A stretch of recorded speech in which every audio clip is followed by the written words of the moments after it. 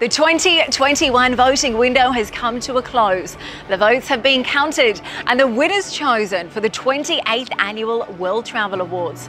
Let's find out who those winners are. Our next award is for North America's leading river cruise company 2021.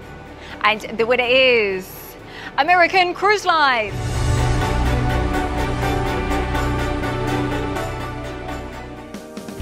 Cruise close to home with American Cruise Lines, the leader in U.S. river cruising. Explore the historic waterways that define our country and be inspired by the views from your private balcony.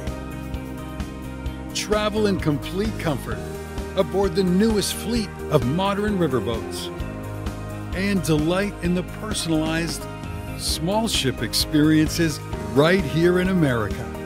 Whether you choose the Northwest, the Mississippi River, New England, or Alaska, cruise close to home with American Cruise Lines, the leader in small ship cruising.